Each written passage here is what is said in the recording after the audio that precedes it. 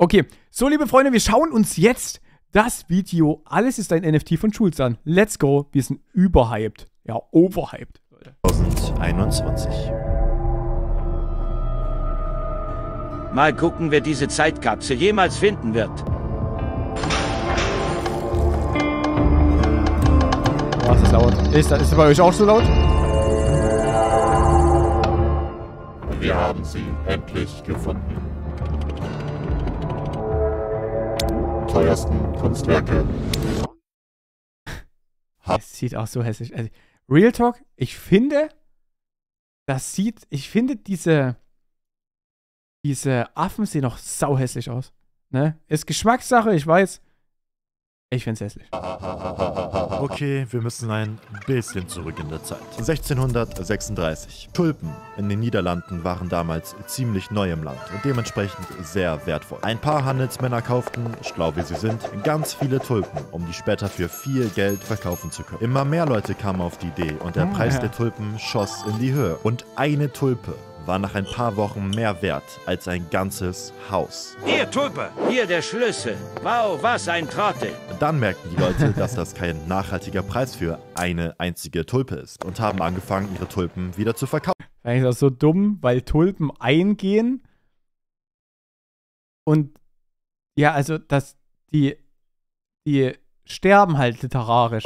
Das haben dann plötzlich alle gemacht und Panik brach aus und die Tulpen wurden langsam aber sicher wieder wertlos. Und das hier ist nicht nur der erste Themenblock in jedem BWL-Studium, sondern auch die allererste Spekulationsblase der Menschheitsgeschichte. Dann kam das Internet und ein paar komische Zwischenschritte später ICQ. Später entschloss sich 2008, mitten in der bislang größten Finanzkrise der Welt, eine bis heute immer noch unbekannte Person namens Satoshi Nakamoto. das Gründungsdokument Was, es handelt es sich um die Knollen, äh, nicht die fertigen Pflanzen. Ah, okay, okay, das, das erklärt's nochmal. Okay, okay. für eine Währung namens Bitcoin ins Internet zu stellen. Eine Währung, die unendliche finanzielle Sicherheit für die Menschheit Gib ihm. bringen sollte, frei von jeglicher staatlicher Kontrolle. Und jahrelang war die revolutionäre Währung namens Bitcoin komplett wertlos. Doch jeder hat den Satz mal gehört. Hätte ich bloß damals Bitcoin gekauft. Hallo, ein Big Tasty Bacon bitte. Ein Programmierer hat 2010 10.000 Bitcoins gekauft. Alter, für 12 Euro, überlegt euch das jetzt mal. Du machst aus 12 Euro Trilliarden. Und alle 10.000 Bitcoins für eine Pizza ausgegeben. Eine Pizza. Ja, habe ich mitbekommen, stimmt. 100 Millionen wert sein würde. Spulen wir noch ein bisschen vor, landen wir in 2013. Ein einziger Bitcoin ist jetzt 1000 Dollar wert. Der Typ hier hat 220 Millionen Bitcoin auf seinem USB-Stick, aber sein Passwort vergessen. Er hat noch zwei Versuche, es einzugeben. Sind sie falsch, wird sich alles auf dem USB-Stick automatisch löschen. Der hier hatte auf seiner Festplatte 182 Millionen Euro in Bitcoin und hat die Festplatte damals auf dieser Müllhalde einfach weggeworfen. Er sucht seit 10 Jahren die ganze Müllhalde ab. Seit neuestem übrigens auch mit Roboterhunden. Irgendwo habe ich den größten Schatz der Welt versteckt. Und natürlich sind hier und da ein paar Menschen auch Das, das ging ja um die Welt, oder? Der, der Typ, der, der die Müllhalde abgesucht hat.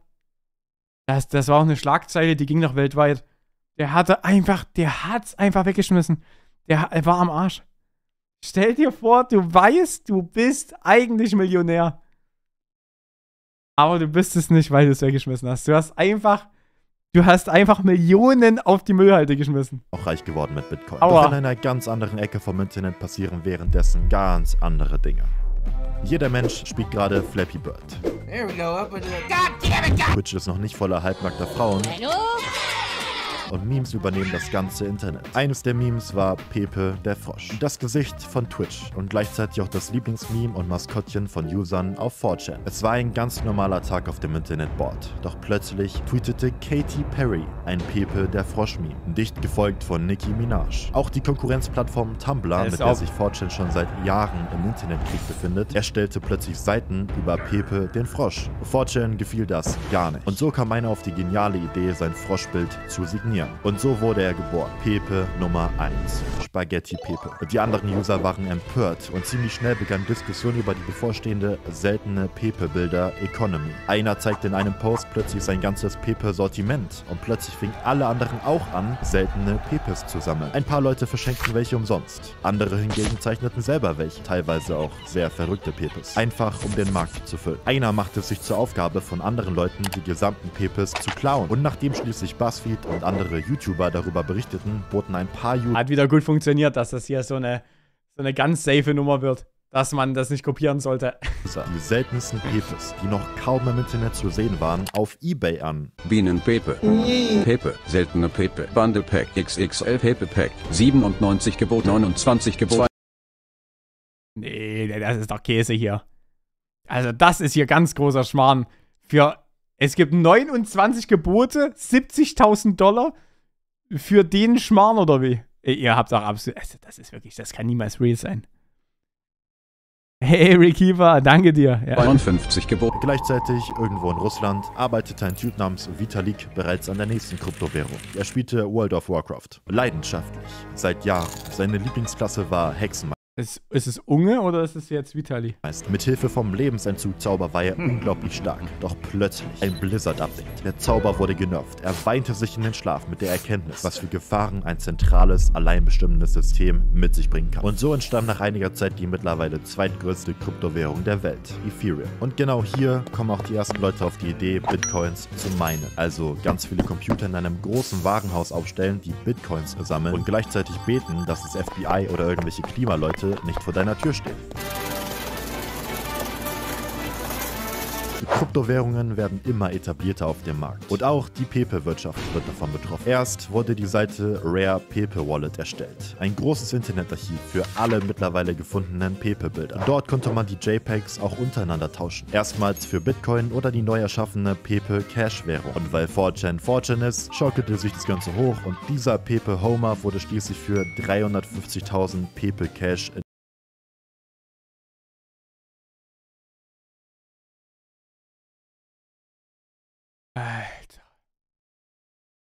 Also wirklich, das ist nicht zu fassen. Für dieses Bild zahlt jemand 300.000 Euro, weil er denkt, das ist es. Das ist das Wertvollste. Jeder wird sich drum, drum schlagen und wenn ich das jetzt verkaufen würde, wäre das eine Million wert. Ihr habt digital verkauft. Und legte somit Und das nur, weil das einen Hype hat. Es, es ist einfach, es hat nichts, es hat keinen wirklichen Wert. Aber einfach nur, weil es einen Hype hat, hat es diesen digitalen Wert. den Grundbaustein für den Erwerb von digitalen Kunstwerken mit Hilfe von Kryptowährungen. Und dann kam 2021. Der Kryptomarkt ist gerade in der vollen Blüte. Jeder kann Geld mit Kryptowährungen machen. Hier hat ein Hamster, der durch Röhren läuft, ein ganzes Portfolio vervielfacht. Und dass das geht, sieht auch der Künstler Mike Winkelmann, aka Beeple. Er postet seit 13 Jahren täglich digitale Kunst ins Internet. Angefangen mit ziemlich langweiliger Kunst, entwickelten sich seine Artworks immer mehr. Ah, das hat, das hat. Und dann kam er auf die Idee, die ersten 5000 erstellten Bilder beim Auktionshaus Christie's für ein bisschen Geld zu versteigern. 69 million. 69 Das war das. Völlig gestört. Da ging ja dann das, der NFT-Hype richtig los, weil bekannt war, dass man so viel Geld dafür zahlen kann. 69 Millionen. Welcher Idiot gibt 69 Millionen aus dafür? Millionen für ein NFT von seinem Bild. Doch was ist überhaupt ein NFT? Kunst in Also ist es auch wirklich so gewesen, dass, also das ging dann wirklich so für 69 Millionen über den Tisch, ne? Das war kein Troll. Das ging wirklich so über den Tisch. Weil ich habe danach nichts mehr weiter gehört. Also es scheint ja alles äh, normal abgelaufen zu sein. Also, wenn ja, Wahnsinn. Wahnsinn. In echt kann nachgemalt werden. Und egal wie gut man es macht, ist es niemals eine exakte Kopie vom Gemälde. Bei digitaler Kunst ist das anders. Man könnte die Datei nehmen und hätte eine exakt gleiche Kopie. Um genau dem vorzubeugen, wurden NFTs erfunden. Jedes Bild wird mit einem Code ausgestattet. Und hast du den Code von diesem Gemälde, kannst du nachweisen, dass es tatsächlich auch dir gehört. Man kauft jedoch nicht das Bild an sich, sondern nur den Code, der zu dem Bild führt. Man kauft auch nicht die Rechte an dem Bild. Man kann das Bild also auch nicht vermarkten. 2021 wurde ein NFT von dem Buch Dune für 2,6 Millionen gekauft. Der Käufer postete stolz, dass er aus Dune eine Serie machen will und die Netflix verkaufen möchte, nur um dann vom Internet und sehr lustigen Schlagzeilen gesagt zu bekommen, dass das nicht gehen würde. Wir haben die Auktion gewonnen. Wir werden daraus eine Serie. Ich habe die Auktion gewonnen. Ich will daraus eine Serie machen. Hallo, ich will daraus eine Serie machen. Hallo, ich will die Bibel 2 veröffentlichen. Also, wozu braucht man nun NFTs? Also, sie können gut sein, damit Künstler ihre Werke im Internet verkaufen können oder Oder stell dir vor, du hast wirklich vor, damit einen Film zu machen. Nur deswegen gibst du so viel Geld aus, äh, nimmst einen fetten Kredit auf. Wobei, wer, wer gibt bitte schön schon dafür einen Kredit? Und hast voll so schon deinen Plan, was du machen wirst. Und dann sagen die, nö. Und du bist einfach, du, du hast dich verzockt und bist am Arsch. Oder damit man digitale Eintrittstickets für zum Beispiel Konzerte individualisieren kann. Oder nun ja, man macht das, was alle machen. NFTs kaufen und versuchen sie für mehr Geld weiter zu verkaufen. NFTs sind, als würde man in einem Laden Lebensmittel kaufen und nur mit dem Kassenzettel nach Hause gehen. Guckt mal, Leute, ich habe die Lebensmittel da drin gekauft. Als andere Künstler sahen, dass Beeples NFT für 69 Millionen verkauft wurde, fingen auch diese an, ihre Werke ins Internet zu stellen. Dann kam der Macher von Nyan. Cat auf die Idee, seine animierte Katze als GIF im Internet zu verkaufen. Und kurz darauf fingen alte Meme-Legenden an, sich oder ihre Werke im Internet als NFT zu verkaufen. Erst war es Bad Luck Brian, Nein. Bad Luck, Brian. Stabiler Typ. dann die Keyboard-Katze. Und langsam aber sicher wuchs der NFT-Markt immer mehr. Mehr Schlagzeilen, mehr gute Kunst, die verkauft wurde, mehr Meme-Legenden, die sich als NFT vermarktet und ein traumatischer Lockdown später waren NFTs plötzlich im Mainstream angekommen. Und hier sahen die Leute, dass man mit NFTs Geld machen konnte, auch ohne viel Talent zu besitzen. Und somit begann ein bis dato noch nie gesehener digitaler Goldrausch um NFTs. NFTs. NFT. NFT. NFT. NFT. Unfassbar reich werden. One million dollars. Aber irgendwie ist der Hype rund um NFT, also man kriegt gar nichts mehr mit, oder? Kriegt ihr noch großartig was mit mit diesem NFT-Zeug? Also nachdem das alles sich herausgestellt hat, dass 80% bei OpenSeaWorld oder Open, doch OpenSeaWorld, glaube ich, äh, dass es mehr als 80% Scam ist, seitdem hat keiner mehr irgendwas über NFTs großartig erzählt. So, die, die Bubble rund um dieses Ape, wie, wie heißen die? Ape? Ich wollte gerade sagen Ape Crime. Board Ape Yacht. Der, die Bubble rundherum, die feiern sich zwar immer noch gegenseitig, aber ich glaube, irgendwie. Ja. ja, Das verläuft sich dann auch irgendwie im Sande, oder? 69 million dollars. Erst wurden ziemlich viele zweiklassige Bilder gemalt. Leute holten plötzlich ihre kreative Ader raus und versuchten andere davon zu überzeugen, dass das hier Kunst sei. Und außerdem tausende an Euros wert. Wie wär's mit Screenshots aus Filmen und einfach mit ein bisschen Paint drüber malen? Ja, das ist 35.000 Euro wert. Berühmte Fotos nehmen, irgendwelche Filter drüber klatschen und größer wird meine Gemäldekollektion. Steine in verschiedenen Farben für eine Million Euro. Oh, die wurden tatsächlich auch gekauft. Hier habt ihr noch mehr Steine. Komm, wir klauen einfach Memes. Kann nicht sein. Wer gibt denn so viel Geld für Steine aus? Und, äh, oh, warte, das machen hier T-Rock, andere schon. Die Wiese da vorne könnte mindestens 20 Euro wert sein. Der Himmel sieht heute wirklich schön aus. Hey, guck mal, ein Straßenschild. 80.000 Euro. Ich nehme einfach meine Selfies und lade sie hoch. Darauf kommt sicher kein anderer im Internet. Oh, der Junge hier hat bereits mit seinen Selfies mehrere Millionen an Euro gemacht. Okay, fuck. Mein Fortnite Victory Royale. NFT-Kollektion von Diktatoren. Stock-Images aus dem Internet gezogen. Andere NFTs runterladen, einen Strich drauf machen und selber verkaufen. Flaggen von Ländern. Okay, das ist, das ist Stonk. Das ist Stonk. Du nimmst einfach ein bekanntes NFT, machst einen Screenshot und machst einfach nur einen Strich drauf und dann sagst du, es ist dein eigenes. Das ist natürlich, aber ich weiß nicht, wie das so ist in diesem Urheberrecht. Bilder von meiner Hand, meinem Finger und wie das mit meinen Beinen für Das ist sehr einfallsreich. Das ist einfach deine Arbeit, ist einen Screenshot zu machen und einen Strich drauf zu malen. 50 Euro oder vielleicht doch 30.000 Euro einfach eine einzige Farbe verkaufen. Okay, jetzt bleibt mir keine Wahl mehr. Ich ziehe mich nackt aus. 40.000 Euro. Okay, warte, es gibt bereits eine ganze Schwierig. Seite, wo Leute ihre Nacktbilder als NFT verkaufen können. Okay, was zum Fick soll das jetzt sein? Und jetzt denkt zurück an die Tulpen. Das einzige, was ein NFT-Preis bestimmt, ist die Nachfrage. Also so viel, wie jemand anderes bereit ist, für dein Kunstwerk auszugeben. Diese NFTs hier kosten 100 Billiarden. Das ist mehr Geld, als es überhaupt auf der Welt gibt. Der ganze Markt war schließlich voller NFTs, die eigentlich nur wertloser Müll waren. Und plötzlich fingen die ersten Stars an, ihre eigenen NFTs zu verkaufen. Jeder ist auf den Zug aufgesprungen. Von Lionel Messi bis zu Mr. Bean. Firmen wie Taco Bell oder Coca-Cola machten mit. Und auch ein paar deutsche Promis Ja. fingen an, NFTs anzubieten. Das ganze Internet drehte sich nur noch um NFTs. Ich hab diesen Affen für 100.000 ge... Soll ich ein Haus oder einen Affen kaufen? NFT. NFT. NFT. NFT. NFT. Und so wurden sie geboren, die legendären NFT-Raubüberfälle, bei denen Internet-Trolle und Leute, die absolut nichts mit NFT zu tun haben wollten, anfingen, NFT-fanate Menschen zu trollen. First NFTs. Ja, das ist ja gut gemacht. Denkst du, es ist witzig, meine NFTs zu klauen? Lösch den Screenshot. Hör auf den Besitz von anderen Leuten zu klauen. Das ist deine letzte Warnung.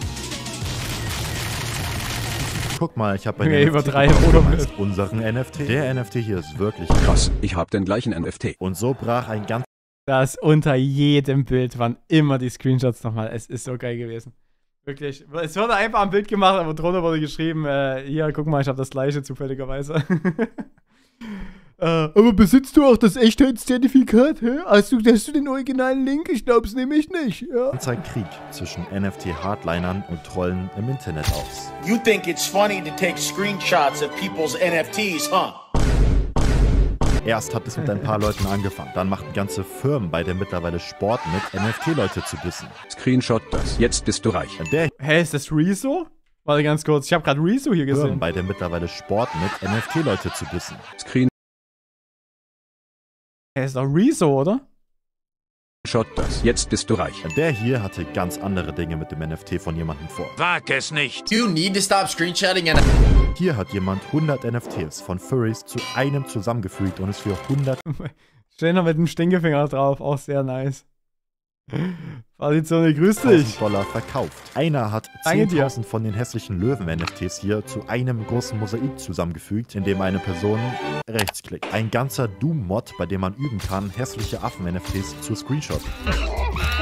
Eine ganze Seite, mit der man mit einem Klick alle NFTs auf der Blockchain runterladen kann. Der NFT hier ist so hässlich, dass man ihn nicht mal screenshotten wollte. NFT-Leute haben dann versucht, dem entgegenzuwirken, indem sie den Begriff Rechtsklicker-Mentalität einführten, um andere zu degradieren. Gegenzuwirken, indem sie den Begriff Rechtsklicker-Mentalität einführten, um Warte, wie geil ist denn bitte dieses. Was ist das denn bitte? Wie geil ist das denn? andere zu Aber wie er es macht und wie er guckt, macht mich glücklich. degradieren, nur um dann noch mehr verarscht zu werden. What the fuck are you doing? Twitter führte dann ein Hexagon-Profilbild ein, mit dem man sein NFT mit den Handelsplattformen verlinken konnte. Das kam nicht sehr gut an und hat die Sache eigentlich nur noch schlimmer gemacht. Silence Hexagon. Und hier fingen auch die restlichen Promis an, NFTs anzubieten. Erst nahm man uns auf diese Weise Johnny Sins. NFT. Dann Eminem, der sogar ein ganzes Musikvideo Ja. zu den Affen-NFTs releaste. Dann Hasbullah, KSI. Ein deutscher YouTuber verkaufte sogar sein Lamborghini für ein NFT. Der hier hat gleich seine ganze Niere verkauft. I sold my kidney for this NFT. But I think Board Ape Yacht Club is a bigger flag, so excited to be part of this community. Ich habe starke Schmerzen. Und ich kann es mir vorstellen, dass es stimmt. Hier fing man dann noch an, alte Legenden wie Bob Ross oder Stan Lee, also Leute, die schon lange tot sind, auszugraben, um NFTs unter ihrem Namen zu verkaufen. Will ich wirklich zum Grabschänder werden? Na klar will ich das!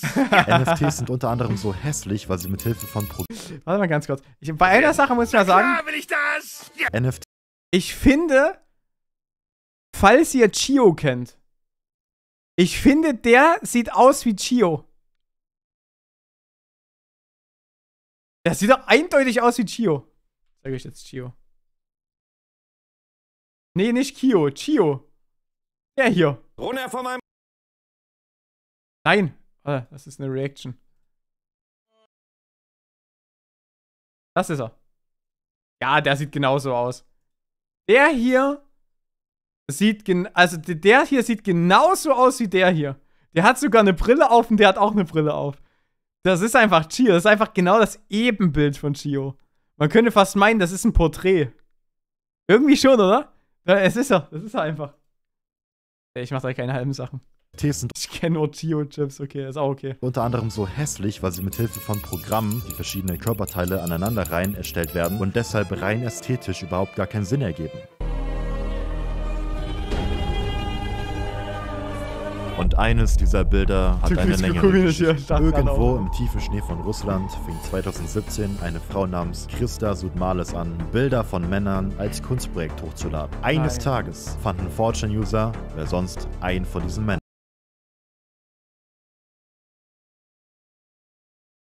Gigachat. Gigachat. Der heißt übrigens auf Instagram Berlin. Ein Ich glaube, einfach, heißt er einfach nur Berlin oder so? Oder irgendwie was mit, mit Berlin. perfektes Kind, pure Männlichkeit, pures Testosteron. Bin nicht schwul, aber ich würde sein Cock Wie will ich damit mithalten? Ich werde als Jungfrau sterben. Und daraufhin machte man sich jahrelang auf die Suche nach der Identität des Mannes, der an diesem Tag der Gigachat getauft wurde. Vier Jahre später erfuhr man schließlich, dass er von den Memes gehört hat, aber jegliche Art von Businessanfragen und Interviews ablehnen würde, weil er mit keinem kooperieren möchte und nicht wüsste, was ein Podcast sei. Der Mann namens Ernest Kalimov wurde schließlich zur Legende und prägte Warte, auf Instagram heißt er irgendwas mit Berlin. Ich habe den nämlich vor kurzem erst da gesehen und dachte mir, hä? Warum trägt denn der den Namen Berlin da drin? Berlin 1969. Ich denke mal, das ist er auch, hä? Das ist er doch. Das hier ist Gigachat. Und der heißt Berlin 1969. Ich mach hier keinen Scheiß. Den hab ich erst gesehen. Junge, aber guck dir das doch mal an. Das kannst du keinem erzählen. Ein sehr naturaler Körper, wenn er mich fragt. Ich habe ungefähr einen ähnlichen Körper, aber für mich ist es immer noch ein, ist ein Lauch. Lauchgestalt, ganz klar. eine ganze Generation. Bis heute sammeln sich noch zahlreiche Anhänger unter dem Kommentarbereich von und disliken fleißig alle anderen ohne ein Gigachat-Profilbild runter. Bis man schließlich erfuhr, dass es diesen Mann nicht gibt. Hör auf! Die Künstlerin photoshoppte die verschiedenen Models von ihrem Projekt jeweils zum perfekten Bild von einem Gigachat zurecht, als Tribut zu ihrem Vater, der bereits schon seit Jahren verstorben ist. Mal ist es ihr Freund, mal ist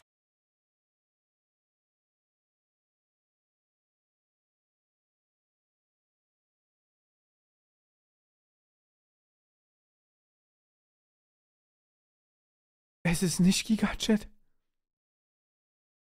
Das, das, das, das, das, das ist bloß gefotoshoppt. Alter. Das ist einfach bloß gefotoshoppt. Das ist einfach 300.000 Likes. 485.000 Likes.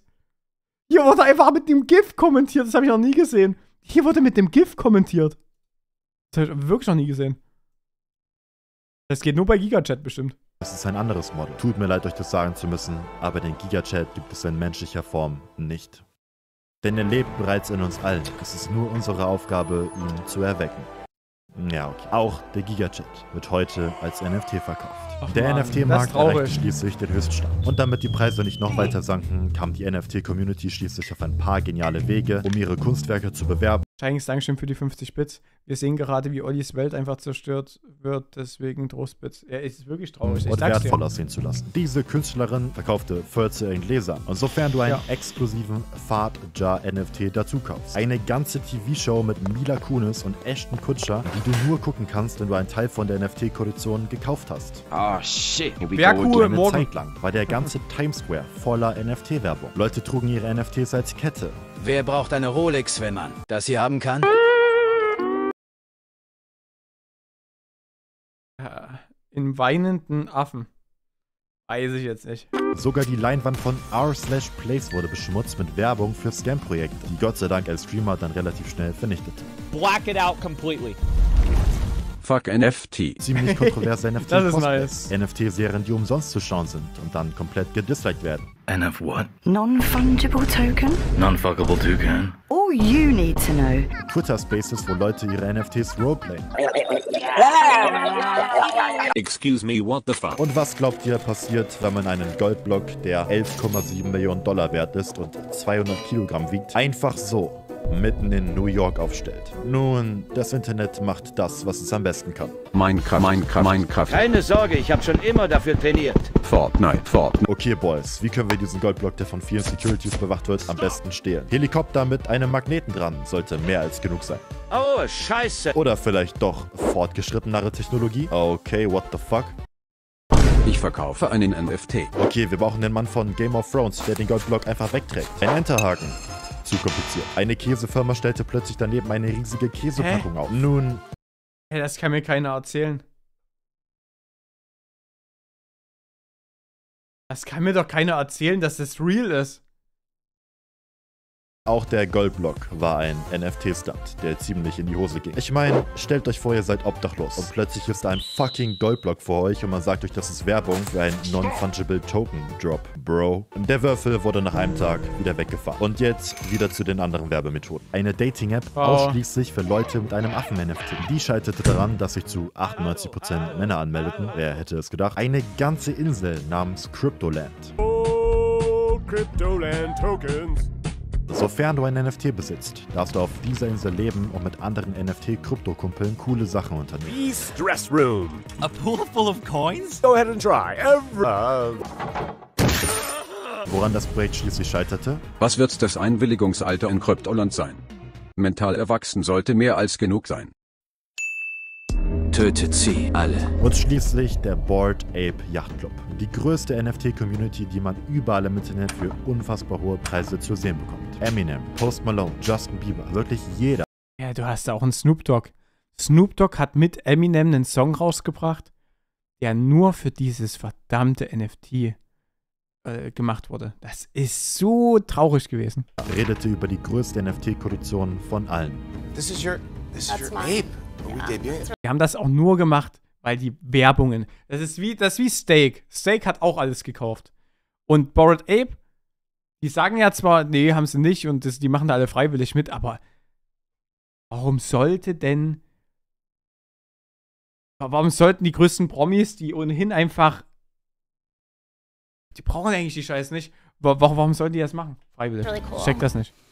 Das ist doch nicht cool. Was ist denn daran cool? Das ist einfach hässlich. Hey, This is my. Yours. Is so cool. I love Als Clubmember bekam man verschiedene Vorteile und konnte diesmal tatsächlich sein Affen-NFT vermarkten. Ein ganzes Festival wurde exklusiv nur für Leute mit diesem NFT veranstaltet. Der VIP-Bereich ließ zu wünschen übrig, aber die Partys und Veranstaltungen um diesen Club waren ziemlich riesig. Leute tätowierten sich das Logo, trugen Hoodies, verkauften Merch, ganze Restaurants wurden gegründet. Cover auf dem Rolling Stones Magazin. Überall war das Bored Ape Yacht Club Logo zu sehen. Und kommt es euch bekannt vor? Das hier ist das Ja, liebe Freunde, dazu habe ich by the way auch ein Video gemacht und leider hat es fast niemand gemacht. Es hat nur einer ein Video dazu gemacht und das war dieser Fillion im amerikanischen Bereich, aber in Deutschland hat es, glaube ich, niemand gemacht. Außer ein YouTuber, glaube ich, mit 1000 Abonnenten. Das ist auch richtig traurig. Logo der nationalsozialistischen Waffen-SS-Schutzstaffel. Und, und, und dann wurde ich noch kritisiert, deshalb, weil das ist ja alles aus der Luft gegriffen. Ey, Leute, ganz ehrlich, wenn das, Das hier aus hier. der Luft gegriffen ist, dann weiß ich aber auch nicht. Also, da tut mir ja wirklich alles weh. Wenn das aus der Luft gegriffen ist. Große Schmerzen, liebe Freunde. Große, große Schmerzen. ist das Logo der nationalsozialistischen Waffen-SS-Schutzstaffel. Oh fuck. Exakt 18 Zähne, gleiche Anreihung, gleiche Schrift, gleich positioniert. Und nun es kann sein, dass die vier Gründer vom Bored Ape Yacht Club 4chan-User waren und es witzig fanden, subtile rechtsradikale Botschaften in den NFTs zu verstecken. In jedem der vier Namen der Founder sind versteckte Anspielungen zur NS-Zeit. Im Bored Ape Yacht Club Videospiel kann man auch ganz zufällig mit einer sehr verdächtigen Form schießen. Und eventuell wurden auch viele geheime Zahlen und Codes in NFTs versteckt, um sich über die NS-Zeit lustig zu machen. Wer will, kann sich dazu das 1-Stunden-Video hier angucken. Die Verfahren dazu sind immer noch am Laufen. Doch Scams existieren schon immer in der Kunstgeschichte. Vor ein paar Jahren hat jemand mal eine unsichtbare Skulptur für 18.000 Dollar verkauft. and is meant to activate the viewer's imagination. Oh mein Gott. Endlich. Der Künstler Das ist, hinter das ist Gelapp, oder? Hä? Jetzt, jetzt Quatsch. der unsichtbaren Skulptur wird verklagt. Von einem anderen unsichtbar Künstler. Diese Banane an einer Wand festgeklebt ist 120.000 Euro wert. Und dann wurde die Banane gegessen. Und doch mit der digitalen Welt voller Influencer und Krypto-Hypes kam eine neue Art des Betrugs dazu. Der weltberühmte Pump and Dump irgendeine Kryptowährung erstellen, sehr viel Geld rein investieren, diese dann künstlich hochhypen, indem man Follower kauft oder Frauen auf Fiverr bezahlt, die sich die Währung auf den Körper malen. Alle anderen investieren jetzt auch in die revolutionäre neue Kryptowährung. Und der Chart sollte jetzt ungefähr so so oder so aussehen. Nimm mal dein Geld, mach Profit, lösch alle Profile und versteck dich irgendwo auf einer Insel. 2.168 Trillion. Natürlich ist es der, aus der Luft gegriffen. Das eine ist ein Affenschädel und das andere ein Menschenschädel. Stimmt, danke. Berliner, das ist nochmal. Danke, dass du es nochmal deutlich nochmal zeigst. Dollars. And now the mark. Oh! Squid Game Coin erweist sich als Millionenbetrug. Meine 2,8 Millionen Dollar sind jetzt 1000 Dollar wert. Mann verliert Geld für die Hochzeit wegen Kryptoscam. Versucht ein Laden auszurauben, um Geld wiederzubekommen. Landet zwei Jahre im Knast. Behörden fahnden weltweit nach OneCoin-Erfinderin. Die ist jetzt übrigens die siebtmeistgesuchte Person der Welt. Kryptowährung-Startup verschwindet mit Benes Nachricht. Und im Mai 2020. das ist wieder, das ist doch safe ein Joke, oder? Ist die siebtmeistgesuchte Person der Welt. Kryptowährung. Eine Kryptowährung-Startup verschwindet über Nacht, Investorengeldern. Übrig bleibt nur eine Penisnachricht. Die hat als Abschied Penis geschrieben. Da, da muss ich dringend los. Startup verschwindet mit Benes Nachricht. Und im Mai 2022 kam dann schließlich der Krypto-Crash. Und zeitgleich sank auch immer mehr das Interesse für NFTs. Es ging schon lange nicht mehr um Kunst. Und immer mehr Betrugsvorfälle und Scams machten Schlagzeilen, was die öffentliche Begeisterung der Leute für Kryptowährungen und NFTs enorm sinken ließ. Es gibt tatsächlich auch heute noch ein paar Events. Aber bei den meisten Events kommen gefühlt keine Leute mehr. Die meisten Menschen auf. Die waren aber gut gefüllt hier. Die, die Events waren aber hier gut gefüllt. Lohnt es sich dann überhaupt noch, sich auf die Bühne zu stellen, wenn du einen Vortrag hältst vor. Das kannst du ja an der Hand gefühlt abzählen. Eins, zwei, drei, vier, fünf, sechs, sieben, acht, neun, zehn Leute und die in der hinteren Reihe, die chillen nur am Handy wahrscheinlich. meisten Events kommen gefühlt. Ja, aber so mal. Hier. Eins, zwei, drei, vier. Das ist es, Leute. Da hätte ich Bock drauf. Keine Leute mehr. Die meisten Menschen auf dem NFT-Markt machen heute Geld damit, indem sie ihre Kunstwerke untereinander verkaufen. Zusammengefasst. Hey, halte das und du wirst reich sein. Hey, halte das und du wirst reich sein. NFT-Projekte von Firmen und Entwicklern wurden gecancelt und NFTs wurden Stück für Stück gemeinsam aus dem Internet gemobbt, damit die Welt wieder zu ihrer vollen Reinheit zurückkehren konnte. Und heute? Der erste Tweet auf Twitter NFT, der für 2,9 Millionen Dollar gekauft wurde, ist heute 270 Dollar wert. Logan Pauls NFT für 620.000 Dollar ist heute 10 Dollar wert. Der Stein für 1 Million Dollar wurde für 1 Cent verkauft. Justin Biebers NFT für 2,9 Millionen ist nur noch 69.000 Dollar. Willkommen Sehr gutes, sehr gutes Video von Jules. Sehr, sehr gutes Video von Jules. Ja, okay, ich sehe das so unfassbar aufwendig. In 20 Minuten Banger rausgekloppt. Das ist so immens viel Arbeit. Respekt dafür.